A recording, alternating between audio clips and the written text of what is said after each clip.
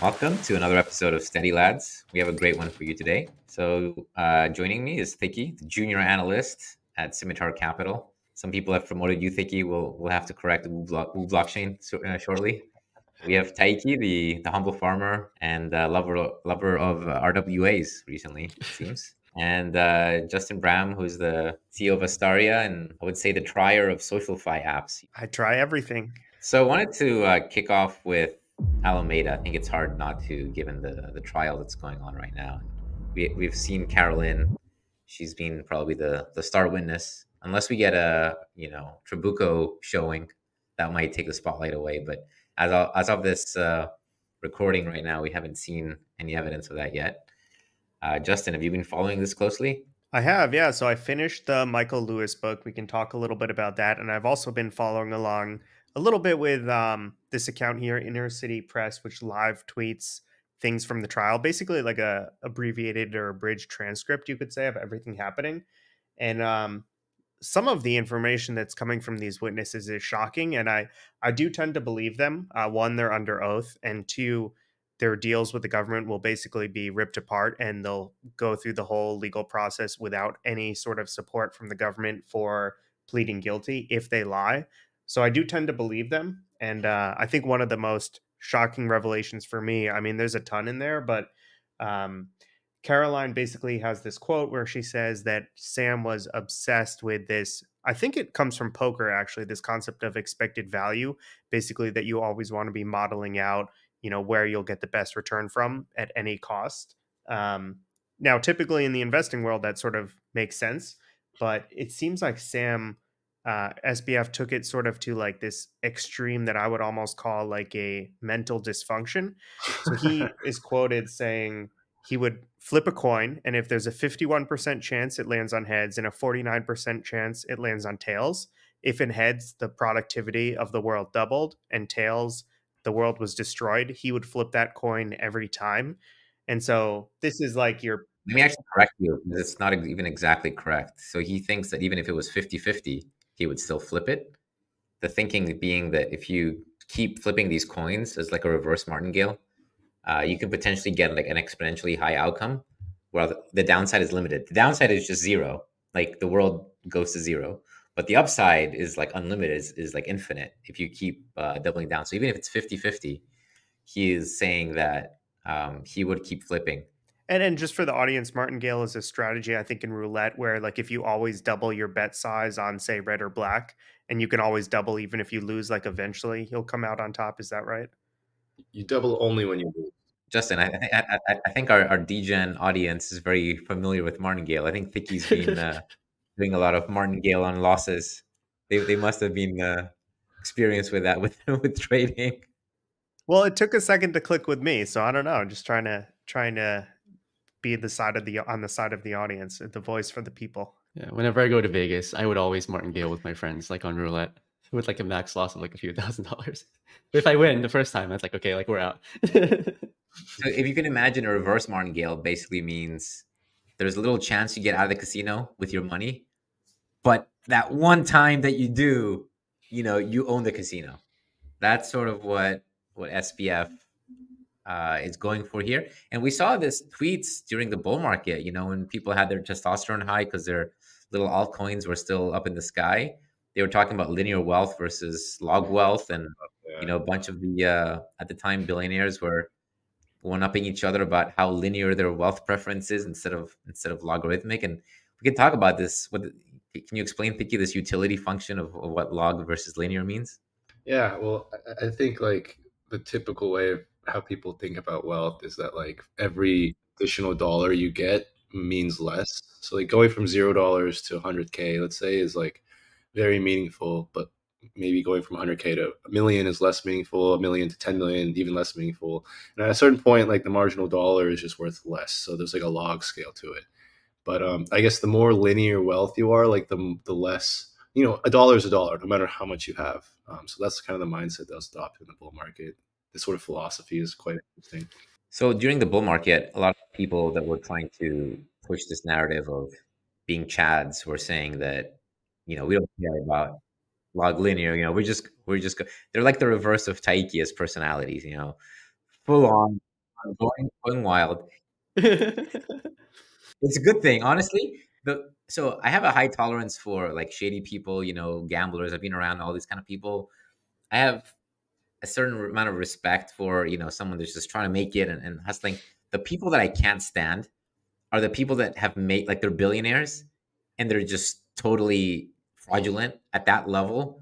And I'm talking about the Mashinskis and the SBFs and these guys that they've made it. You know, they can they can take a chill pill. They don't need to like push the boundaries of what's legal and screw everybody else. Those are the people I, I just can't forgive. Like I don't know, it just irks me to no end. Well, that's sort of the point I, I was talking about. This sort of like, uh, it, it really does feel like SBF had like some sort of, mm, I don't know what com- personality disorder it would be, but like to take these things to the extreme when, like, to your point, he had an amazing, actually not an amazing business. We can get into that later, but he had a business that he would never have to worry about money again. Let's just say, right? And he had to, he felt the need to take this to the extreme to accumulate as much money as humanly possible even though he knew that the risk would be complete ruin and he made this ev calculation in his head that maybe on paper you can make the case for but just any rational human would come in and look at this and say this is not the right thing to do. I shouldn't take this risk on. Because ultimately he was just betting that his bets would win and he would be able to come out of this alive right? Like he just took customer money thinking that he there's a more than 50% chance he would win and it, it just doesn't make sense to me I mean, I think the mental disease or whatever uh, situation is is partly related to the, those like drugs that he would you know pump himself full of patches and stuff to get going, and you know you add that to a very healthy dose of autism, which is not rare in the space, but he definitely you know had had his share of it. I don't know if you, did you see the story where he's on a call with um, you know some some VCs or something. Is it is was it uh which large VC was it that he was on Sequoia. a call? It's a Sequoia. Sequoia. Yeah. yeah you know, supposed to be one of the most sophisticated in, in the space. And they all just fall in love with him in the chats. 10 out of 10. I want to, let's go with this guy. Yes. Like he's, his vision. And then meanwhile, they're saying he was like playing League of Legends on the side. And that sounds like he's an incredible genius. Like he's able to multitask and at the same time, you know, convince the most difficult VC to to convince. But then, you know, we know that he's a, a complete uh like bronze B like C minus player at League of Legends. So he's a very uh you know super smart but also super stupid at the same time uh intelligence. It's a very strange one, strange combination. Yeah, I think uh in sentencing, like the thing that from you know, I, like I said, I've read the Michael Lewis book. I've been following the trial pretty closely. I think what the judge is really going to hammer him on when he so like at the end of a trial right when it's time for sentencing the judge almost always gives like a speech right of like five minutes saying you know here are the reasons why i'm going to give you many years here are the reasons why i'm going to give you a few years. And my interpretation and also seeing how the judge has been reacting is that the judge is going to say you're a very smart person like you could have done so much good for the world. Like this this makes this even more tragic. There's so many people that don't have the opportunity to go to the best schools in the world like you do to be educated by great parents on a university campus. And you took that and you sort of twisted it and it became this like terrible manifestation where you hurt a lot of people. And i think that's what's going to be used against him during sentencing if he's found guilty. Have any of you like interacted with um, ea people effective altruism people? You know there's some prominent ones in crypto but um, i've lived in the bay. I think taiki you lived in the bay as well but maybe you weren't going to as many uh, shady parties in Berkeley as, as I was at the time. Uh, Unfortunately, not, or fortunately. Um, I know um, who, who's the guy that runs Dragonfly, Haseeb. I think he's also yeah. like an effective altruist, right? Um, yeah, definitely. Like SBF gave EA like a really bad rap. Um, I'm not even sure if he actually believed in it. Maybe you know if he kept talking about like the coin flip situation, you know, he just took it to an extreme. Um, like, what do you guys think about like EA? Uh, like, do you think it's it makes sense, or is it more like an excuse yeah. for people to like just try to like extract value? No, it makes sense. I've been I've been around this world. You know, some of my best friends were are maybe still um, in that community. It's a very small community. I, li- I literally didn't realize, but a lot of them were like working at Alameda. Apparently, it's such a small circle that you know they were just hiring from from within it. So just knowing people within it you, you probably know people that were behind the scenes working there at least during like the early years 18 19 those, those type of years uh, before there like there was a split and a bunch of people left. But um, no it's a legitimate thing. I would say it appeals to a certain intellect that super logical you know the jane street type they're they're able to like you know think very cleanly and and that's great.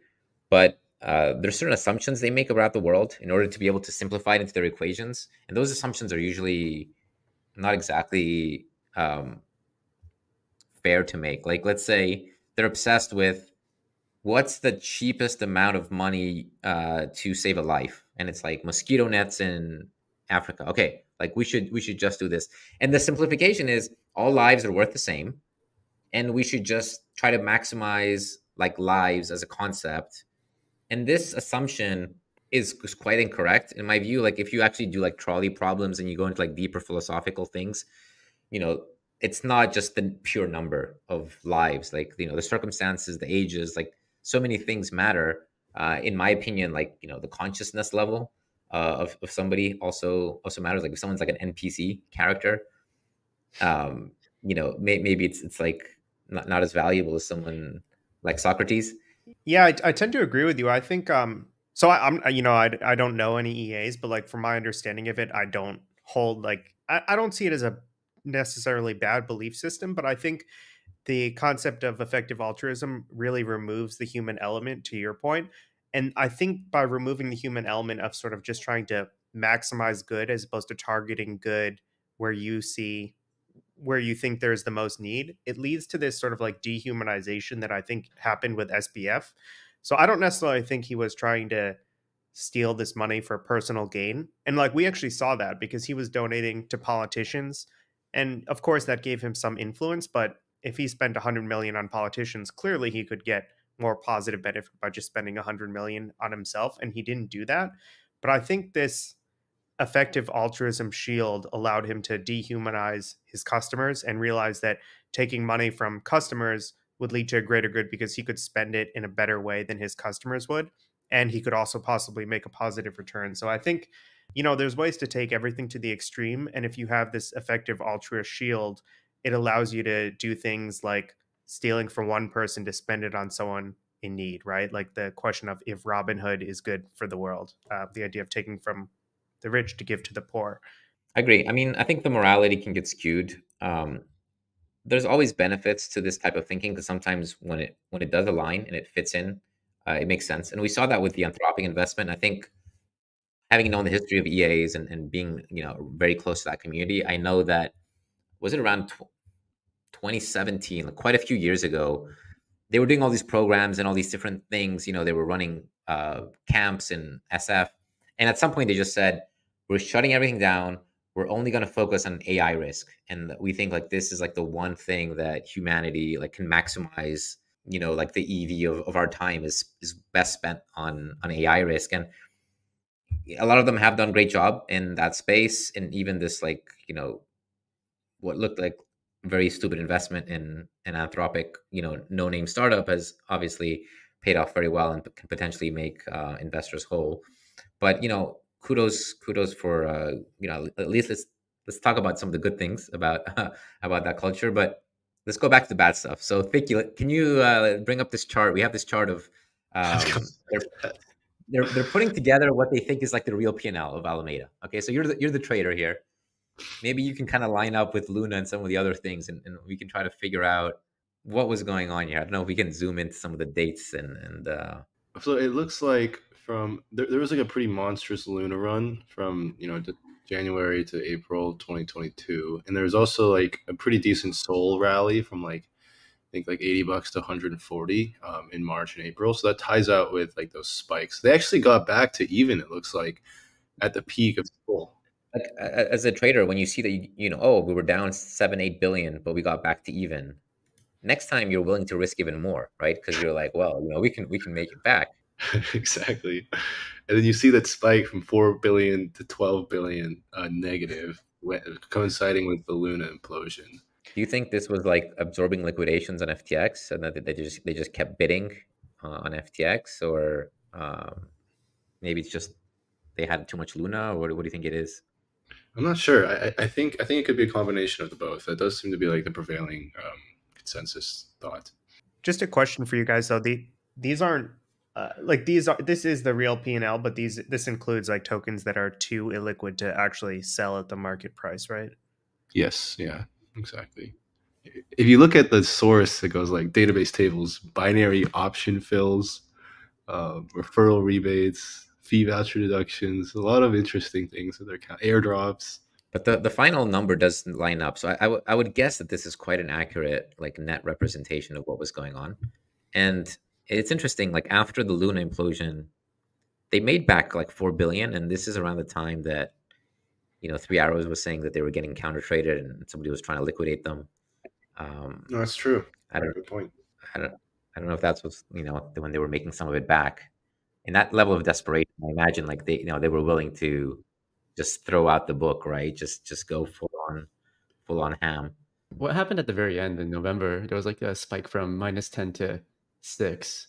SOL spiked in, into breakpoint, and then that weekend, SOL gotcha. actually like twenty something to like thirty seven. So it was very good for them until it died. that's a good theory though, Cody. That like maybe they decided to hunt the AC because they were so in the red you know, Su did say um, he was one of the first people to say that um, he thinks Alameda was absor- absorbing liquidations uh, during Luna, and at least these numbers would line up with with some of his speculation about about them. Plus, the I think I was the first one to speculate that uh, publicly that they had a non non liquidation account that could probably go very negative, and that also turned out to be correct. So some of the uh, some of the guesses are, are being validated by by the data we're seeing. When you say uh, absorbing losses, do you mind just explaining what you mean by that? If people have like a 2x, 3x Luna position and Luna is going down as it was crashing really hard, somebody needs to liquidate that. So you can either just sell it into the book on behalf of the user, but what these exchanges do, like most of the large ones actually, like they'll have a, a separate feed that the liquidations go into. And instead of throwing them into the book, they can just put them on their own sub account. They, they can just have a sub account that just gets all the liquidations. And Alameda was quite public, saying for years that these are, you know, some of the times they make the most money because they're willing to be on the other side of liquidations because it's usually forced selling and it'll kind of bounce back up, right? Like you'll, you'll have this like spike down 20% and then it'll, it'll go back up 10%. So they'll make that spread. But in Luna's case, it just kept going down and down and down and down and they're absorbing these things. And I think Su might have kind of hit the nail on the head as to some of these losses. Obviously, you know, they actually did have VC investments in Luna as well, and potentially had UST. So um, it could be a combination of things. Cool. So let, us go on, to like a different topic while you know this this trial plays out. I'm sure we'll we'll have some more to talk about next week. I think uh, you know the other thing that happened was Stars Arena getting kind of hacked, and then the next day, like actually hacked. And then we're seeing a few more things with AVAX uh, recently with Platypus. So, you know, th- this was something that I felt quite shocked by. Not the actual initial hacking, because, okay, you know, um, EVM contracts, like, you know, shit happens. But the, the reaction initially of saying that this was all FUD. And then when it actually happened, so you see like this tweet here by Emin, who, you know, had decided to align himself fully with uh, with this app this protocol. What did you think when you uh, when you guys saw this? Yeah, definitely like tone deaf, right? Um, and I feel like Ava Labs and like Avalanche and like all these Alt L1 foundations, um, they all suffer from lack of relevance. Um, and whenever something catches on, they kind of have to pile in, right? Just try to make themselves relevant.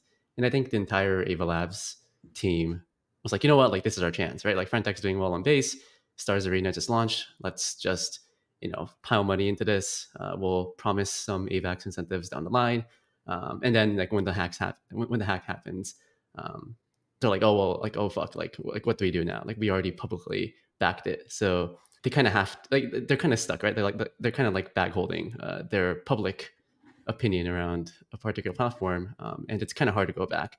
Um, and I think Emin maybe was acting out of emotional, uh, did like an emotional response of you know what, like you know three million dollars, like that's no big deal. Like Stars Arena can make it back in, you know, like two weeks or whatever. He, he did have an emotional reaction because he was saying like, this is a war against us. You know, we're being fighted. This is like a tribal thing. He, he used the word tribal. So he's viewing it, you know, back into the, uh, you know, I remember the uh, I've abandoned Ethereum, and then you know people attacking Su for for going with AVAX, and he's going back to those days.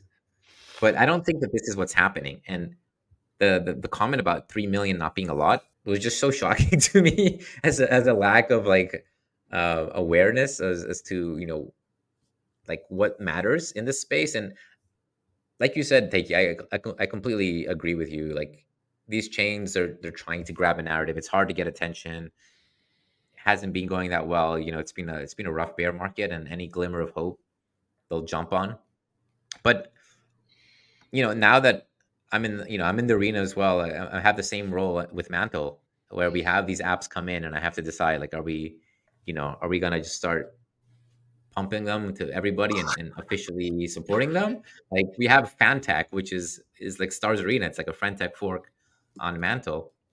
And I've been in the exact position that Emin has where, you know, I, I get like squeezed from different sides. Like why, you know, why don't we just like publicly support? And I take the, you know, I have another uh, stuffed animal, stuffed animal of the week. This is the sloth. I, you know, it's my spirit animal for the week. I've been taking the the slow approach and you know, I want to have teams KYC'd and I want to have smart contracts verified at the minimum and audited before just publicly telling, you know, hundreds of thousands of people to put money here. And I've just found it so shocking that the approach here was, hey guys, it's all FUD. And then the next day he's proven wrong. It's not all FUD. Like there's no security. Even and then it's like, oh, it's just three million guys. Like other people lost more. Why does this happen to ecosystem leaders? Like across the board, I think every single ecosystem leader besides Vitalik, and I'm, this isn't even to toot Vitalik's horn, but like he, he just doesn't get involved in this stuff. But every single ecosystem leader sort of turns into this like crazed, biased promoter at all costs. Like, are we going to see that with you, Jordi, in a in a year when Mantle's uh, like a top ecosystem coin? No, man. Uh, I am taking a very different approach here. I, you know, this is the Singaporean government approach. We're gonna, hell yeah, we're gonna be safe. You know, ultimately, like you, you want to have in people's head no like hacks and no like huge issues. People want to feel safe with money, and you know, this is a financial instrument. It's like number one thing is security for me. So uh, you can't control every single thing. You know, something might happen, especially with with EVM, but you can control at least like the basics and here it wasn't even like near the basics so um i mean in, in terms of other leaders maybe we should bring up some of the other Alt alto one chains and and see you know what's been going on i think we haven't heard about them in so long we used yeah. to uh, look at these people every day during the bull market but now you know the silvios and the i think charles hoskinson hasn't you know he, he's been he has like a private jet business very profitable. No, no, he's been uh he uh helped recover um like non elements not from this universe at the bottom of the sea. Very interesting. I do think that like crypto projects are more so the successful ones more so rely on like cultism rather than actual technology, and I think that's the reason why you see all these fanatic leaders emerge to the top, like Do Kwon, um, that kind of you know personality type. Yeah, people want someone to follow, right? It's like Dani, like Frog Nation, even SBF, um, and even Evan. Like maybe he feels like the need to, you know, just start bull posting, um, get engagement, because uh, like that's the only way to get people's attention. Um, and there's like no real way to, like no efficient way to value these cryptocurrencies. So in order for your coin to get buyers, you know, you, you just have to be on top of like Twitter or like whatever social media platform. Um, and I think founders have to like account for that. No, I mean that's that's the game. There's no exact way to value an alt L1 like a layer one coin. Maybe there's some gas fees, but it, usually those are very much distant into the future. So apart from Ethereum, that is actually you know usually generating quite a lot of gas fees. The other ones are relying on the community aspect. And we've talked about community money a little bit in the past. A lot of these things are trying to build this community. And we're in the paleo, paleo, paleolithic times here with crypto people don't realize that the most important thing for community money is the supply and it's just completely underestimated how like constant supply and dumping from insiders will just rip apart the community because the community is together because they're feeling the vibes they want to get rich together. This is like our caveman vibes. But if there's just like supply coming in this is like the number one reason why all of these are failing and will keep failing in my opinion. Uh, maybe we can bring up the we get like CoinGecko maybe to see where where some of these coins have been trading. So okay, Polkadot. This was one that had a lot of hype. Obviously, you know, one of the co-founders of Ethereum, and there's multiple chains where the the co whether one of the co-founders of Ethereum. It looks pretty rough. Uh, this is this is not even a linear chart, so it's even worse than it looks. And this is a BTC chart, so it's already reflecting the the beta of the market doesn't look like a happy community. And um, I think we have a tweet up by by Wu Blockchain uh, saying that a, a, certain analyst was uh, was pointing out some layoffs that are happening here. So analyst Thiccy revealed that Parity Technologies, the Polkadot ecosystem development organization, laid off 300 people. So uh, good scoop there, Thiccy. Um, I, I, Is that real? That. Is that a real scoop?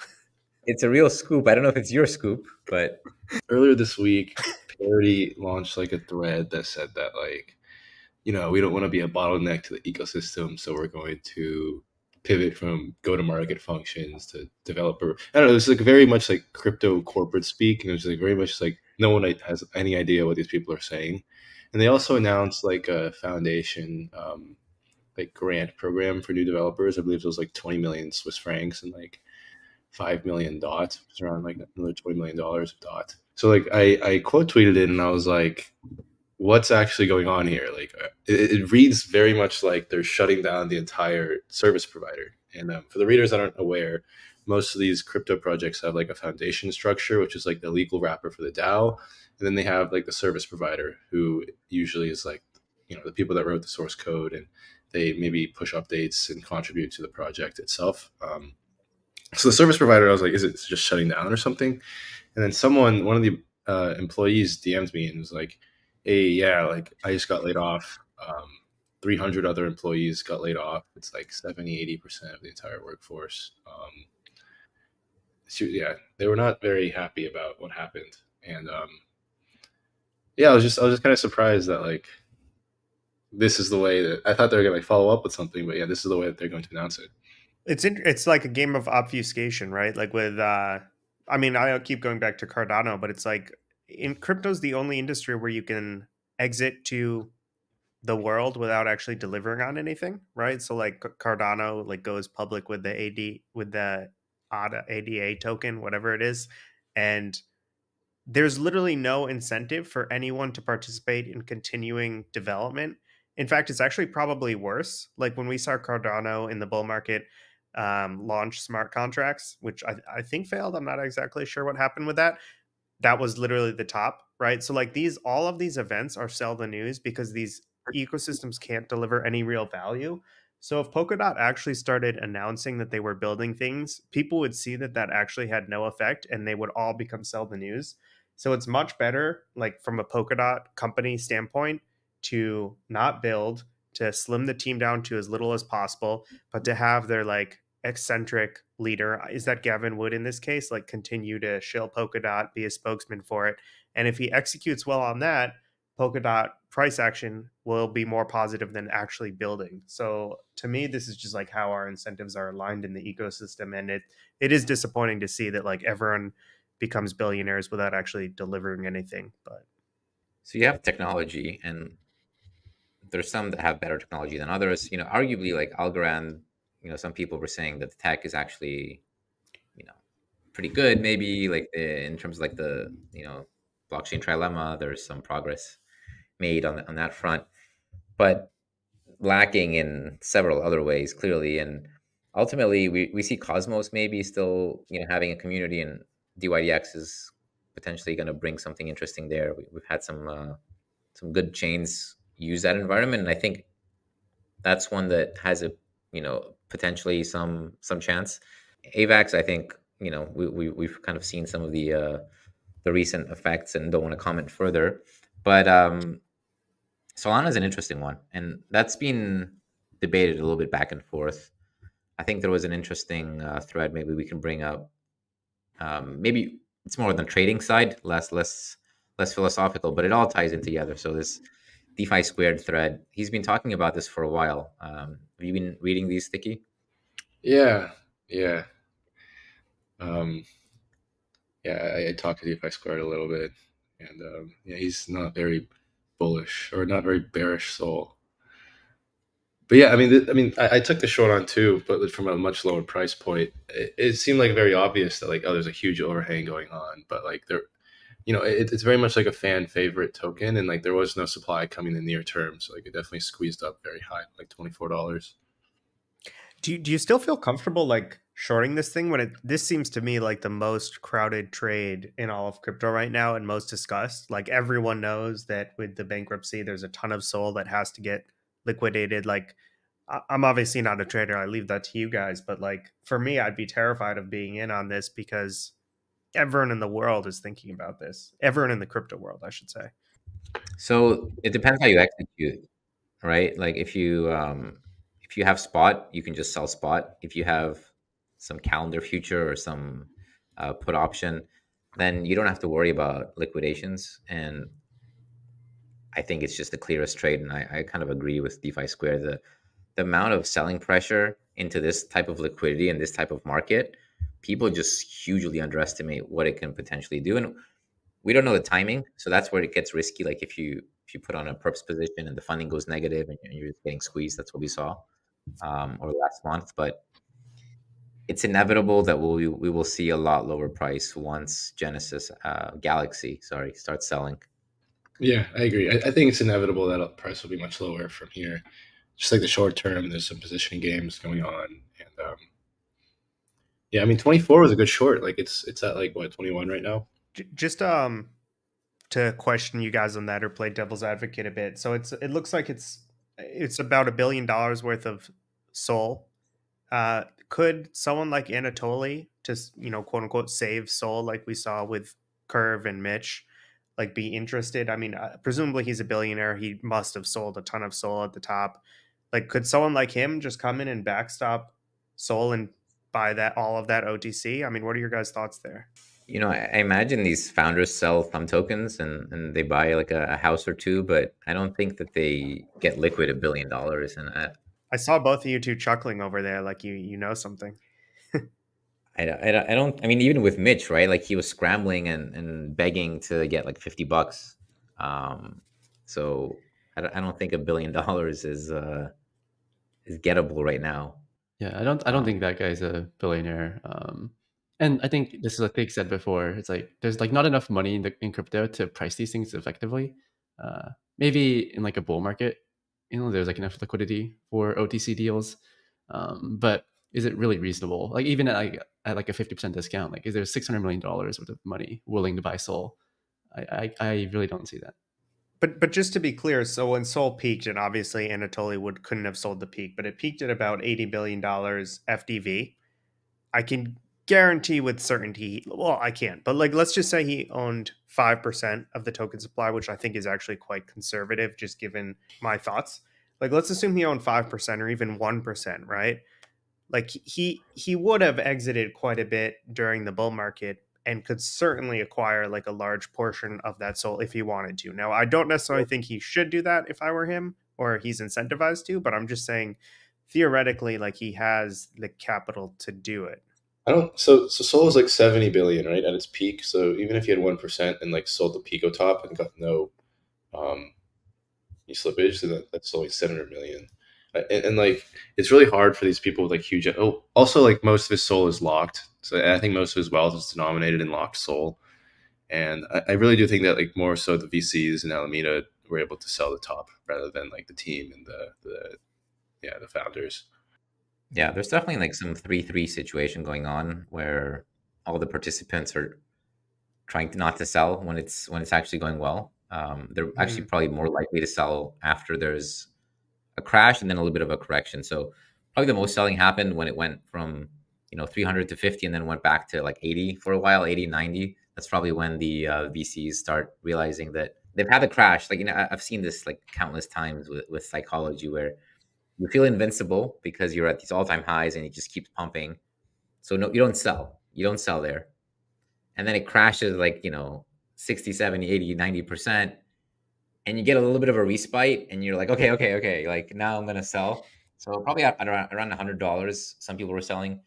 There's talks that Multicoin and, and Kyle Samani was actually buying more there, which um, probably has made some people unhappy on on the LP side. But uh, I would imagine that that's probably where most of the exiting would have happened. Yeah, I feel like it's it's more socially acceptable for team members to sell after a correction, right? You never want like as a founder, you never want to sell the top because then people will like hate you for it.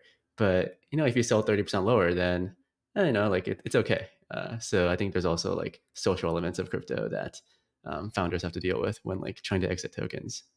The I mean, the, this in in this case, I don't necessarily agree with the social piece. Like, there's no doubt in my mind, Anatoly could like at the time, like he could have sold a huge tranche to Genesis OTC, and Genesis would have confidentially found buyers for that. Like that was happening. I feel like all of the time in the bull market with DeFi founders.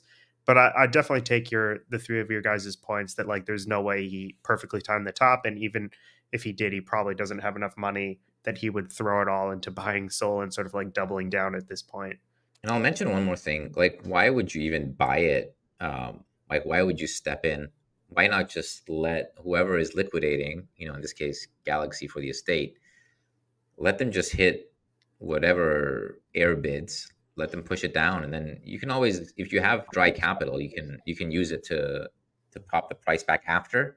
There is no reason to step in front of like this train and the all these yeah. like Solana community people. You know, I love them and amazing. You know, you guys have great vibes and great colors and great NFTs, and and that's all amazing. Why would you want to like throw your financial life in front of like you know an oncoming train? Just let the train go through, and then you can you, you know it'll still potentially rebound. Like even if it goes down to like a single digit altcoin, um, I can I can see it in two three years if the community sticks together, maybe getting over it, but the amount of sell pressure that's unlocking for years and years it just destroys the concept of community money in my eyes it, it destroys the ability for cavemen to get excited and coordinate to build wealth together and i think um, this is going to be a painful lesson that will will get slowly realized do you feel the same way around like dydx because a similar unlock is going to happen in december uh, where you know, the circulating supply of DYDX is, you know, it's going to increase significantly. Uh, of course, the fundamentals. I mean, they're going to, you know, they're they're going to launch uh, launch V4 this month allegedly. Uh, there's going to be staking rates. Um, like, how do you think about like these unlock events and like, is it worth trading around them, or do you like just let the train come and then just pick up the pieces after? I don't think DYDX is community money. It's a it's much more of a financial application. You know, looking at cash flows, what's an exchange worth, and there's VCs and there, there's liquid funds. Um, I don't think the unlock is going to be sold because the backers that they have are very well chosen. And this is another point about Solana. This is like, you know, I don't want to get comments about being a Solana hater. You know, I, I used to own a lot of Solana and I still like a lot of things around Solana. But the fact that they chose the wrong backers and they chose Samani, they chose SBF, this will haunt them for a very long time and you look at who who did DYDX choose? Yeah, like there's a few three arrows coins that you know maybe I'll try to buy OTC, no uh, NFA, but um, no, you you have Paradigm, Polychain. You have like the biggest funds that are in good place. They have multi-billion of AUM still. I don't think they're like looking to to immediately dump, and I don't I don't expect them to to do that. One other thing about DYDX that makes this like something almost impossible to bet on is they've pushed back the unlocks also historically. So like during the bear market, they com- they I think they just completely moved the unlock by like a year, right? And like theoretically, they could easily do that again if they wanted to. So yeah. I think the idea was move it until V4 goes live because then the token will actually have utility and people will, uh, you know, want to ha- hold it for some reason. So the unlock's supposed to happen in December. I mean, that's the stated that's what's stated publicly, right? But it the, the actual reason behind it could be just we're in a bear market. Like presumably if DYDX was hitting all-time highs, they would have allowed trading and not wanted to wait for V4 or whatever they're calling their new app. I mean, we're seeing the same thing. You know, bear market yeah. means you need a yeah. you need a good story or, or a good catalyst, right? So it's the same thing. Um, I'm curious what you guys think about AVAX. So they're uh, sorry, not AVAX, Arbitrum. Uh, enough about AVAX. So Arbitrum has had uh, this grant program where they've had 100 plus applications from all the different apps, and each one has submitted a proposal, which is a very weird game theory thing because they have to say how many tokens are going after, and there's not that many tokens, so it actually doesn't make sense. I'm not exactly sure what the lessons are going to be once we look back, but there's just been these random proposals, and people say, "I think I'm worth 14 million because I'm GMX," and okay, I'll just take 1 million. But 1 million is higher than your, you know, entire like TVL. There's just a bunch of stuff going on and it gets very political. The people who have the tokens are not necessarily voting on merit, they're voting on their friends. And it creates a temporary demand for the token, but once the voting is over and once those uh, I think it's 50 million ARB that's going out, you know, those are going to get farmed and, and potentially dumped. So, I mean, Thiccy, have you been? I, am pretty sure you have your eyes on this. You're, you're always close to the uh, Arbitrum community. Loves you uh, from the day of your initial proposal there. what do you think about what's going on there? Yeah, I, I haven't trading it that much. Um, I, I, do think it's like bullish for the projects and probably slightly, you know, adds just more supply for Arbitrum. Um, but yeah, I mean, I've always kind of had some disdain towards this grant sort of setup just because you know it's kind of just like a popularity contest like a political thing. It's like very much like who you know in the foundation too. And i don't know it's just not like a game i like to play so Taiki, do you think this is just a value transfer from from the chain to the apps and what ends up happening there? Yeah i, I actually think that like the arbitrum dao is like this is like a 50 million token ex- experiment and there's like setting up the infrastructure for voting to happen. And then maybe in 2024 they can do like a 500 million incentive. And then you know like people won't be scrambling to you know go through all the politics and whatnot. Um, like i don't really think any arbitrum alts should be bid for this i mean sure tvl might go up for like two months but you know most of these projects are like dead on arrival so it's not really going to save them um, like i'm in the camp of okay like maybe i'll farm some maybe keep you know farm and accumulate some r but like i have no desire to like you know buy all these. And like most of these tokens are going to like perp dexes. Um, I think it's more productive if Arbitrum just gave a bunch to GMX because like that's their flagship product. It's like if they give I don't know, like a few million dollars to like Grail or Camelot, like it's like it doesn't really move the needle. Um, but uh, you know, like I'm not really against it. Um, I'm not bullish any of these tokens to be honest. Um, but I, I, think it's more of like an experiment uh, before they prepare for like the next bull run as an experiment, I think it's interesting. Like Justin says, you know, just try stuff. Let's see how it goes. I think it's not perfectly designed. No, nobody's going to be able to argue that it is. But you do have to give them credit for like making that conscious choice of like their FDV. I just was looking at it. It's about eight billion dollars now, which uh, seems like a lot, but you know who knows? That's what the market's valuing it at. And I, I mean, I give them credit for like accepting guaranteed sell pressure to like while FDV is so high to sort of deliver that to apps. I know Jordi, you're with Mantle, you're taking like a huge app first approach and trying to promote an ecosystem. So like I, I give them credit for trying. Uh, it sounds like the execution's not the best, but it's not even as far as Optimism took it. Remember, you know, they, they were just giving retroactive grants to DAC XBT and nice community members. So you know they, they, they went full like you know here just take tokens. Um, it's a different approach, and and we'll see what happens. I mean, on the Optimism Plus side, they they did show that there was a bid. They managed to sell a ton of it OTC uh, without touching the book. So, um, yeah, we'll see how it plays out. And uh, you know, normally we have a closing segment like a pasta of the week. This week, I have been like laughing my ass off on some of the memes on crypto Twitter. So we're changing up a little bit. We're gonna do a kek of the week. So uh, let's look at some of the memes. What's everybody's favorite memes been this week? So uh, this had this tweet had me in stitches. I, was really cracking up, and it, I think that this is real news too. So uh, from coming out of Blockworks, um, it looks like the beloved grocery store Trader Joe's. Um, if you're based in the states, you're definitely familiar with it. People people love this place, um, and it looks like they've uh, brought a lawsuit against Trader Joe, the Dex on Avalanche and Arbitrum for using their name, which is absolutely hilarious to me. Um, and I know Jordi, you're looking at bringing um, a DEX of a similar name, I believe Trader Mo to Mantle. are you rethinking the naming convention here, or are you talking to the team about this at all? This yeah, this is going to be the same team, so it's going to be an official. It's not going to be like a uh, you know a shitty fork. This, this is going to be the official one. Um, you know, look, the team's great. They're like one of the few AVAX protocols that has not gotten hacked.